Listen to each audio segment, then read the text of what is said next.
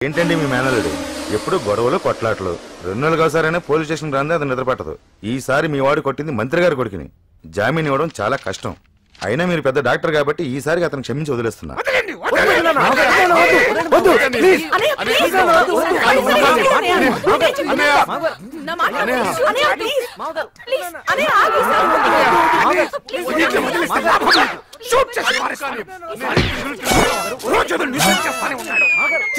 వీడి మూలంగా నా పరువు తప్పుతుంది. వచ్చేస్తారన్నయ్య. ఫైవ్ మినిట్స్లో అందరూ వచ్చేస్తారు. ఏమన్నా దొరికిందా బాబాయ్? ఎరా ఇప్పుడు దాకా ఎక్కడ పోయావు? నేనా? మన రమేష్ గారి రూమ్లోనే ఉన్నాగా. ఆరు ఫ్యామిలీలు పదహారు రూములు. జాయింట్ ఫ్యామిలీ నువ్వు వాడుకున్నట్టు ఎవడు వాడుకోవటం లేదురా. మీ నాన్న తిట్టుని తిట్టు తిట్టకుండా తిట్టాడు. ఎందుకు ఆయనకి బీపీ తెప్పిస్తావు? టైంకి రావచ్చుగా? ఆ మాట ఇడికి చెప్పు బాబాయ్ ఎరా అర్ధరాత్రి పూట అడ్డమైన చోట్ల తిరిగితే ప్రతి అడ్డమైన వాడు మనకి అడ్వైస్ ఇస్తాడని చెప్పానా లేదా? జస్ట్ మిస్ అక్క నేను వస్తున్నా. ఏంట్రా?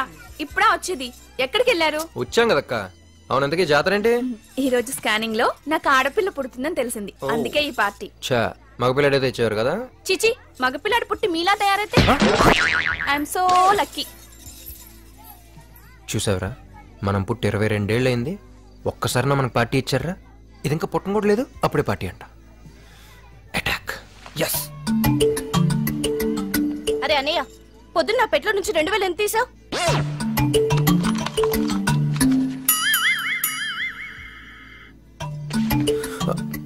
ఏంటి? ఈరోజు నీ బాయ్ ఫ్రెండ్ రఘుని చూశాను. పబ్లో. ఒక అమ్మాయితో. బ్రదర్ డబ్బులు తీసావా లేదా? టాపిక్ డైవర్ట్ చేయ మాకు. తను నీకన్నా అందంగా ఉంచు కన్యా. అదే నా భయం అంతా. ఇంత స్కర్ట్ వేసుకుని కత్తిలా ఉంది కదరా? కత్తిలా ఉంది. షోల్డర్ పైన టాటూ ఉందా? చెప్తా వాడి సంగతి. రెండు వేల కోసం. ఛీ, సిగ్గులేదు.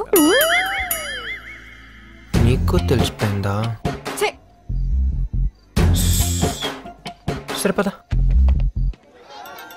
సైలెన్స్ సైలెన్స్ హై మాట్లాడొద్దు. ఇప్పుడు నాన్నగారు మాట్లాడతారు. నాన్నగారు మాట్లాడండి.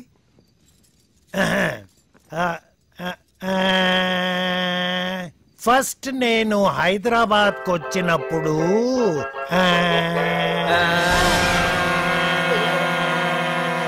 ఏయ్ ఆపండి. చిన్న పెద్ద లేకుండా ఏంట్రా వెళ్ళకడం మాట్లాడొద్దు. ఆ, ఆ, నాన్నగారు మీరు కూడా మాట్లాడొద్దు. నేను మాట్లాడతాను. సరే. ఈ ఇంట్లో ఇంకో సన్యాసి పుట్టకుండా ఆడపిల్ల పుట్టడం ఒక శుభవార్త అయితే ఈ సంవత్సరం మన బిజినెస్ టర్న్ ఓవర్ యాభై కోట్లు దాటడం మరో శుభవార్త. ఇంతకన్నా పెద్ద శుభవార్త ఇంకోటి ఉంది అది చెప్పడానికి ఈ గ్యాదరింగ్ ఇది గ్యాదరింగ్ కాదు బాదరింగ్. ప్యారిస్లో ఉన్న మన పార్ట్నర్స్ అక్కడ కూడా ఒక బ్రాంచ్ పెట్టామని ప్రపోజల్ పెట్టారు. సరే అన్నాను. ఏంట్రా? మార్కెట్ స్టడీ చేయడానికి మనలోంచి ఒకరిని స్పాన్సర్ చేసి పంపమన్నారు. అందుకే మా జనరేషన్ నుండి కాకుండా మీ జనరేషన్ నుండి ఒకరిని సెలెక్ట్ చేసి పంపిద్దామని డిసైడ్ అయ్యాను. వాళ్ళు కావాలంటే తోడుగా ఇంకొకరిని తీసుకెళ్ళొచ్చు. అల్లుడు గారు ఇవ్వండి. ఇదిగోండి. ఈ ఇంట్లో ఉన్న పిల్లలందరి పేర్లు దీంట్లో ఉన్నాయి. ఒక్క పేరు తప్ప. ఏ? నా పేరు ఎందుకు చెప్పకుండానే అది నీ పేరుని తెలుసుకున్నోడివి. ఎందుకు వేయలేదు కూడా తెలిసే ఉంటుందిగా. అయితే ఓ పని చేయండి. నువ్వు ఆపే. నేను మీ కొడుకునే కాదని రాసివ్వండి. మీ ఇల్లు తెలుసు స్టాంప్ పేపర్ తీసుకురా. ఇప్పుడే రాసిస్తా. అయ్యో. ఓకే ఏంట్రా ఇదంతా? మరి నా పేరు వదిలేస్తే నోరు మూసుకుని వెళ్ళిపోతాను అనుకున్నారా ఇక్కడ ఉన్న వాళ్ళందరినీ జైలుకి పంపించి మరి వెళ్తా. జైలుకా? ఎందుకు? ఏంటద్దా డాక్టర్ చదివావు. స్కానింగ్ చేయడం చట్ట ప్రకారం నేరం తెలీదా?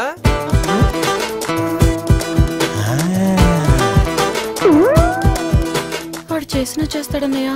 అందుకొని? వాడి పేరు కూడా వేయండి. రేవతి! నన్ను మెడికల్ కౌన్సిల్లో డిబార్ చేస్తారన్నయ్య. ఓకే. సాధించావురా. మరేమనుకున్నావు? రే రే నీ పేరు వస్తే నన్ను తీసుకెళ్ళరా. ప్యారిస్ ఇప్పుడు దాకా పుస్తకాలు కూడా సరిగ్గా చూడలేదురా. నిన్న? ఛాన్సే లేదు. రే.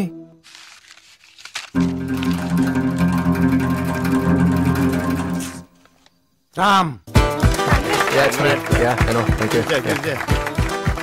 ఏ రాఘవా అనే వాడు ఎవరిని తీసుకెళ్తాడు అడుగు. ఏరా నన్నే. బాబాయ్ చిన్నప్పటి నుంచి ఇద్దరం చాలా క్లోజ్గా ఉంటున్నాం. ఇంకెవరిని తీసుకెళ్తాడు?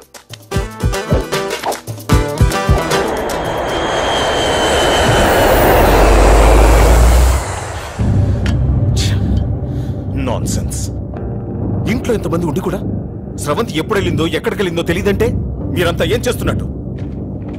సార్ స్రవంతి ఫ్రెండ్స్ అందరిని ఎంక్వైరీ చేశాను. ఎవరు ఏం తెలియదంటున్నారు. వాళ్ళు నిజం చెప్తున్నారని గ్యారంటీ లేదు. బట్ మీరు ఓకే అంటే పోలీస్ స్టేషన్లో కంప్లైంట్ ఇచ్చి ఎయిర్పోర్ట్ రైల్వే స్టేషన్ అన్ని చోట్ల ఎంక్వైరీ చేస్తాను సార్. నాన్న ఫ్రీడమ్ ఫ్రీడమ్ అంటుంటుందిగా. ఇక్కడే ఎక్కడ ఉండుంటుందిలే. ఈ విషయం బయటికి తెలిస్తే మనకే problem. Let's wait for some time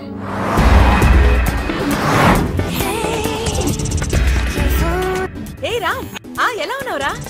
ప్రయాణం ఎలా జరిగింది? చాలా సేపు నేను జరుగుతూనే ఉంది అలాగా? ప్యారిస్ ఎలా ఉందిరా? ఎవరది? నేను సుకన్యని. సుక్కు నువ్వమ్మా. ఆఫ్టర్ ఆల్ రెండు వేలకి ఎంత టార్చర్ పెట్టావే? ఇప్పుడు సార్ రేంజ్ ఏంటో తెలుసా? తెల్లాలి మన లగేజ్ మోస్తే. బెంచ్ గారు మనల్ని మోస్తుంది. నీకు బాగా ఎక్కువైందిరా? ఇండియాకి రా చెప్తాను. ఏంటి సైలెంట్ అయిపోయావు? రేయ్ రమ్య. ఎక్కడో కాలుతున్నట్టుంది రేయ్.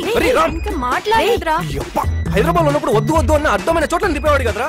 ఇప్పుడు ప్యారిస్ మాత్రం ఒక్కడే సింగిల్ వెళ్ళిపోతావా కడుపు మండుతుందా ఇక్కడ రే రే రే రే జీవితంలో కొంతమంది చూసి ఏర్ష పడకూడదురా స్టైల్లో రజనీ క్రికెట్లో సచిన్ మ్యూజిక్లో రెహమాను మన ఇంటికి నేను నాకే పంచడేలా కొడుతున్నాడు అత్త ఏ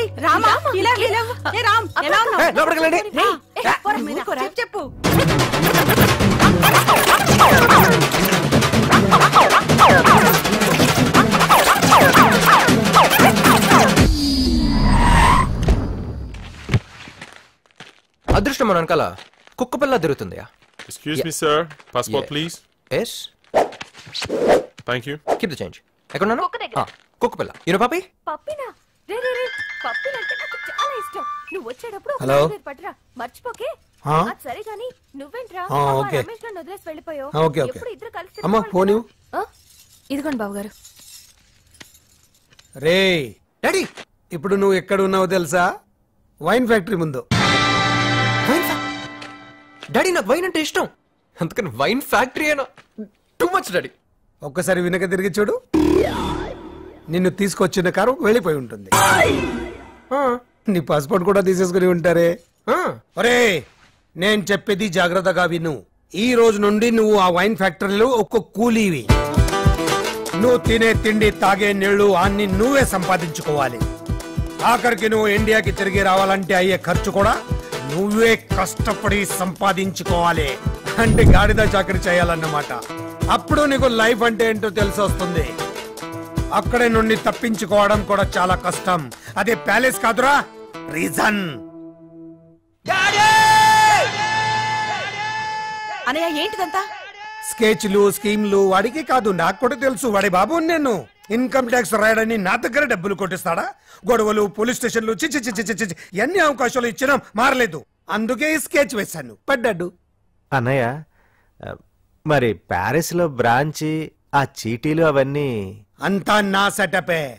అన్ని చీటిలో వాడి పేరే రాశాను. మరి వాడు కూడా ఇంకొకటి పంపిస్తా అన్నావు వాడు ఇంకా ఎవరిని తీసుకెళ్తాడు? ఈ గాడిదనే కదా అనుకున్నాను. వీడి తప్పించుకున్నాడు. Just miss.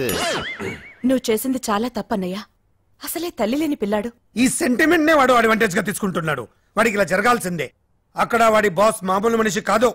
Very strict disciplined iron man my